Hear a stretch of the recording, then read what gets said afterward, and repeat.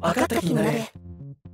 その作品は原っぱに女性が寝転んでおり上半身は裸下半身には赤いズボンを履いている女性が描かれています。ズボンの赤に対して補色である緑の草の表現方法はゴッホ風に描かれており色彩はマティスの原色で描かれています。この作品の題名は裸体婦人1913年大正元年に描かれた作品で作者はよろず哲五郎で彼の代表作です。この作品はよく美術の教科書に登場しており記憶している人もいると思います。なぜよろず哲五郎が紹介されているのかを考えてみると明治から西洋の絵画洋画が紹介される中でそのままの真似をするのではなく日本人として彼にしか描くことのできない洋画を描いてているからです。